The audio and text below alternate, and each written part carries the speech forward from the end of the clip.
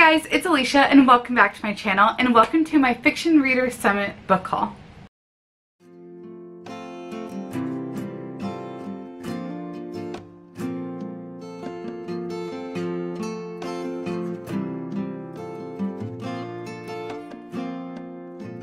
I am super excited. I feel like this year I have really cut back on how many books I've purchased. I didn't set out really to go on a book buying ban or anything, um, but I just really decided that I needed to really pay attention to the books that I was purchasing. Am I realistically going to read them, truly? Uh, am I just buying them because they're on sale? because I don't have room to keep doing that. So I have if I've read the book on Kindle and loved it and want a paperback copy for my collection, totally fine with doing that. I have an Amazon wish list that I just I'm always adding books that at some point I know that I'm going to want to buy on there. Typically they're indie books because that's really the only place you can get indie books. And then bakerbookhouse.com is my favorite bookstore to shop and get books from. Um, but yeah, I've just, I haven't pre-ordered. I think I've pre-ordered one book this year. I just have really watched what I'm doing just to save some money. This year I did, for Fiction Reader Summit, I did save up some money over since the beginning of the year just so that I had money for books intentionally so I wasn't freaking out or like needing but I knew that that was my budget and I'm happy to say that I actually stayed under budget by like $4. But you know what? That's a big deal. I stayed under budget. And I was just very thoughtful in the books that I purchased and brought home. And I'm so incredibly thankful. This is a very large haul, but it's not just books that I purchased. I also got books in a swag bag and we were doing something fun where we were going through and we were trading books that we already owned or wanted or whatnot. So I was able to come home with books that I that have been on my radar, but not necessarily a priority for me to purchase. And then I was given a couple books and then I got some books from some publishers that were there. They were getting they were giving the books out at the end of the day if you were around the table so definitely right place right time and I'm just incredibly incredibly thankful that uh, I have the space, which I don't really have the space to keep doing this, but that I have the space to get books and that I do have the ability and the finances to set stuff aside so that I can get books and go to these things and I'm just incredibly incredibly blessed and just really thankful. So I do have it split into categories based on books that I purchased at Baker Bookhouse, uh, books that I got in my swag bag and then the ones I got from the table. So without further ado, I'm just going to go ahead and jump right into it. I am going to do the ones that I got from the publishing tables that were there. Tyndale was there, Enclave was there, and Kregel was there. And then there was also another publishing house. There was a, a small publishing house, a husband and wife, I believe. And they do like science fiction, fantasy type books. I talked to the wife for a little bit on Friday and she's very sweet. But Enclave and Kregel, when they were done for the day, they didn't want to take the books that they had with them home. So they were giving them away to the people who were there. Um, so again, definitely just right place, right time. But first, I'm going to start with this. So every every swag bag, I guess this technically belongs in the swag bag category. So I'll add that to the swag bag category. We'll start with the books that I got from the table. So first I'll start with Enclave. I got The Mermaid's Tale by L.E. Richman. This is book one in the Chronicles of the Undersea Realm. And it is just a stunning cover. I remember when they did the cover release for this on Instagram. I was like, oh my goodness, it's mermaids. I have to get that at some point. So I was able to get that and was very thankful. And then I also was able to pick up Radiant by Ashley Bustamante, and this is book two in the Color Theory series. I know a couple of my friends have read one and absolutely loved it to the point that I believe they read the rest of the series. So now I just need to get book three at some point. I'm 90% sure. I don't know. I have so many books I can't keep track anymore. And I've tried apps and it just doesn't end up working for me, but I've got to find a better system of keeping track of what I own. And then from Kregel, I was able to get Hero Debut by Angela Ruth Strong. This is book two in whatever series this is.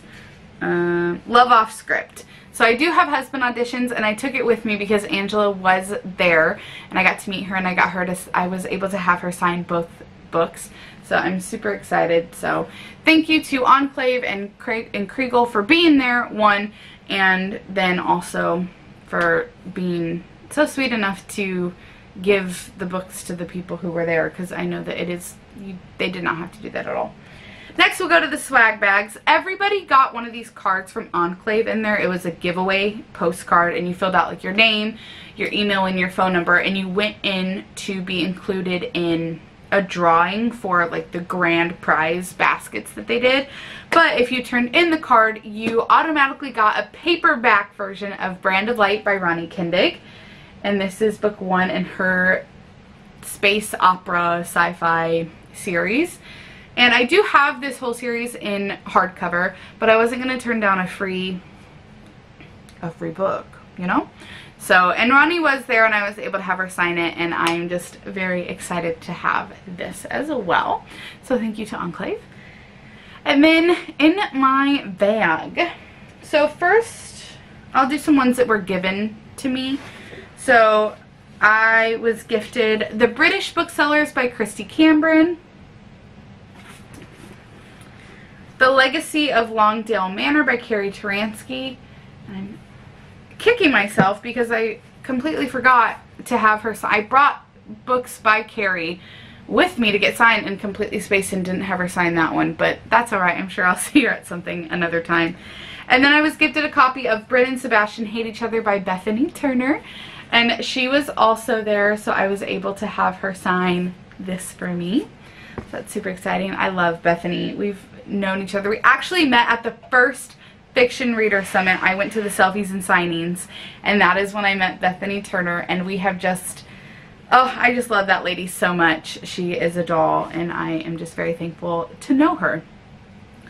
Then I got This Ain't No Promised Land by Tina Shelton. She was also there, so I was able to get that signed. Then I was able to trade for The Warsaw Sisters by Amanda Barratt. Be able to trade for We Three Kings. Uh, it's a novella collection with books by Crystal Caudill, Cara Putman, and Angela Ruth Strong. Again, I'm really bad when I get novella collections with one of the authors at the event. I'm terrible about getting the author to sign their story. So I spaced and didn't have Angela sign that, but I did get it, so I'm excited. Then I traded for A Healer's Promise by Misty M. Beller. This is book two in the Brides of Laurent series. I don't remember if I have this one. I have one in this series, but I don't know if it's book one or book two. If I have it, this is what I always say. If I already own the book, it means that I can give my second copy away to someone, whether it's a friend, a family member, someone on Instagram, social media, something like that. Then I got He Should Have Told the Bees by Amanda Cox. I'm very excited because this is the first Amanda Cox book Amanda Cox book that I own and I know that she has just taken the world by storm. Her books have won multiple awards and she's just fantastic. I've been able to meet her a few times actually uh, but that's the first one that I own by her so yeah I'm excited. Then I got Set in Stone by Kimberley Woodhouse. This is book two in the Treasures of the Earth series. Then I got Julia Monroe Begins Again by Rebekah Millet. I've heard good things about this. This is just such a fun, bright, summery cover. And then last, I got Up From Dust by Heather Kaufman. This is Martha's Story, book one in the Women of the Way series. This just came out, and I know that my friend Jenna Van Maurik loved this book so much. So when I saw someone I was able to trade for it, I snatched it right up. So I have it. Jenna, don't hold your breath that I'll read it very, very soon. But I do own it, so at some point I can read it because I know that you loved it. So those are the books that I traded and got and all the stuff that was in my swag bag. So I didn't purchase any of these books. Now we can go into the books that I did in fact purchase at Baker while I was there. I'm not going to break them down on which trip I purchased them at because I went a few different times, but so I'm just going to do them all together. So this is just the course of Thursday, Friday, and Saturday I purchased these books.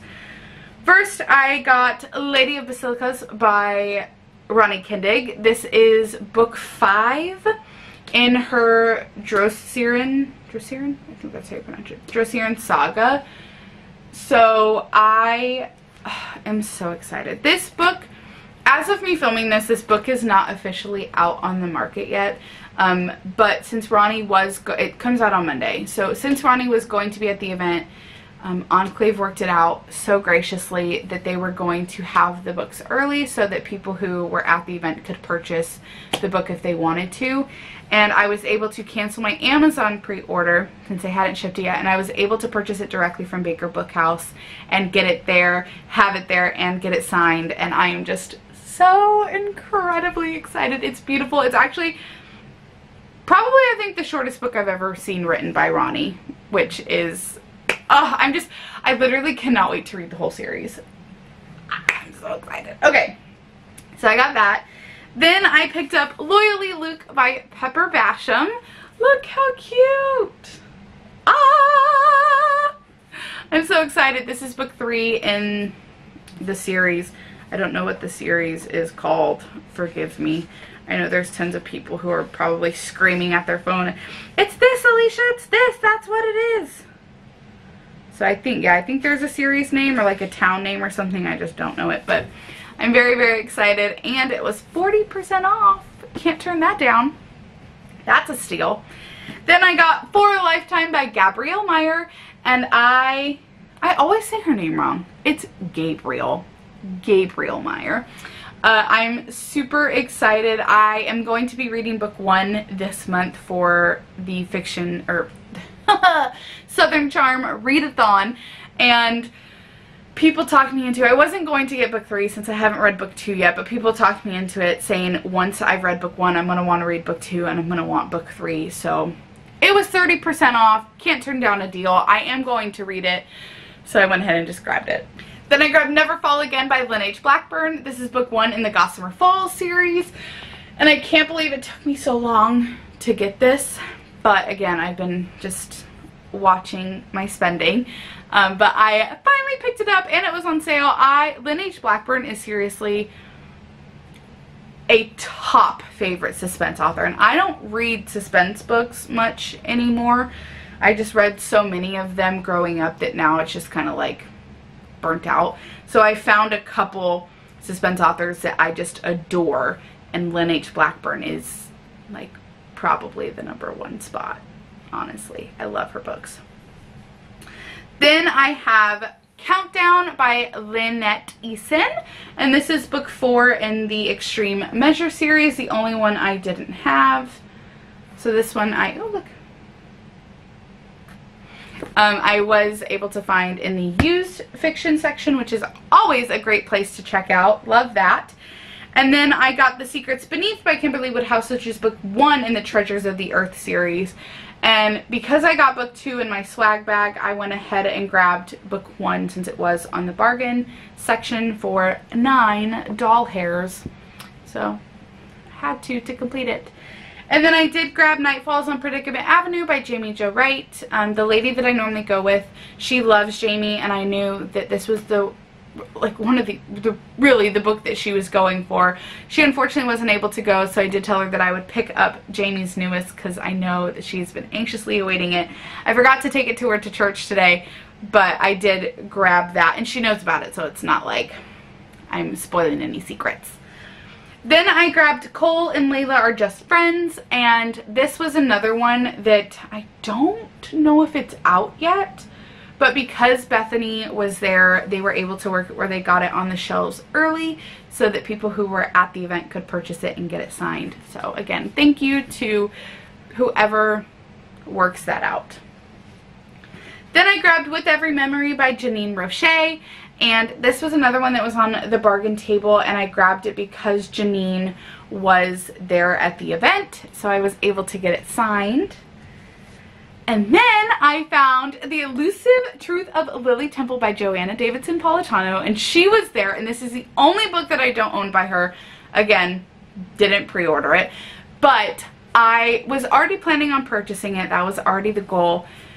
And Thursday I got there and I was like, you know what? I'm just going to head and look around, do some like window shopping before seeing what was in my swag bag, before seeing all of that, before getting our, because it with the lanyard we got a discount on certain things. So I was like, I'll just wait. But I'm still just going to kind of do some window shopping, see if there's anything that I can't live without right now.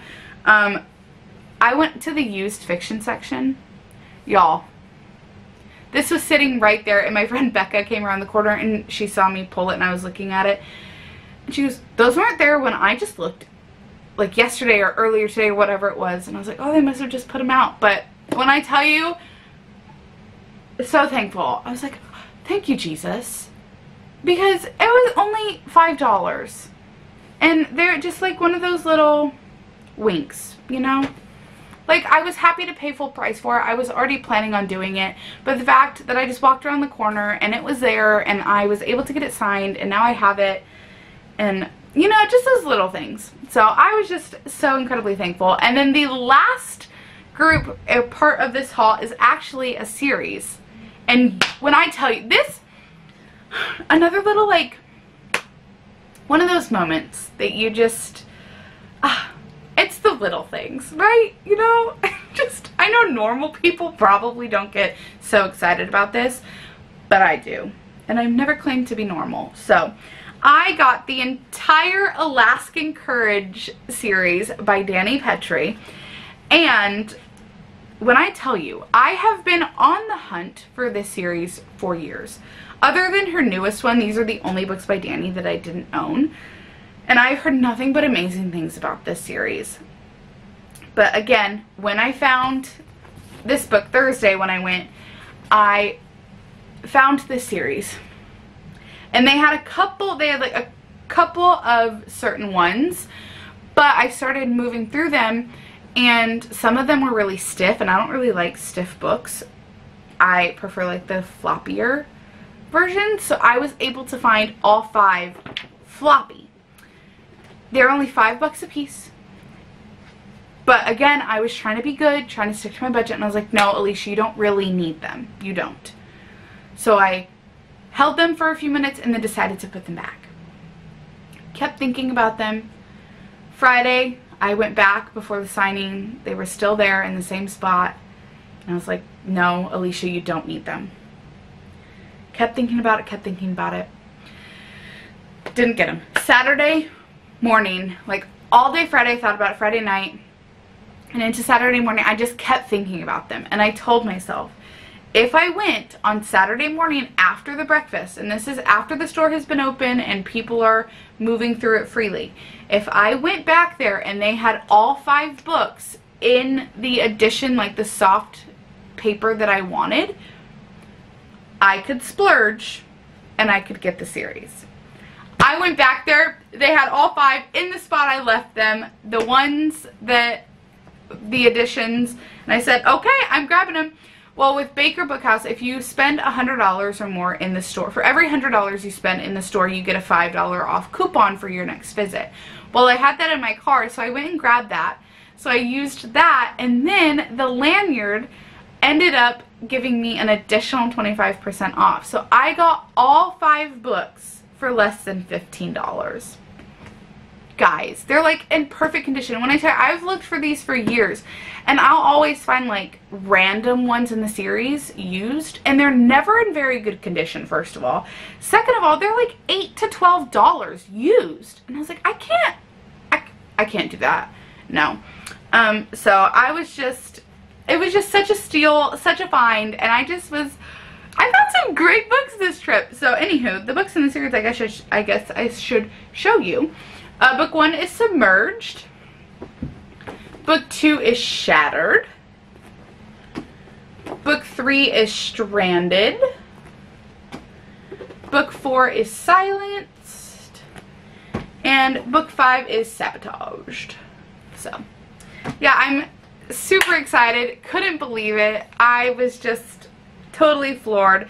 Again, absolutely loved this wonderful event. I got to see Katie from Paperbacks and Ponytails.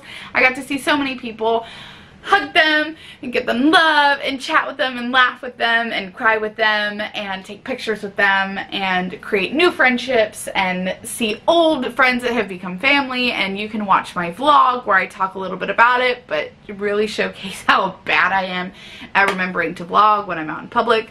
Um, but yeah, that is my Fiction Reader Summit haul. I had an absolute blast. I took quite a few books with me to get signed, um, but I'm not going to go over those.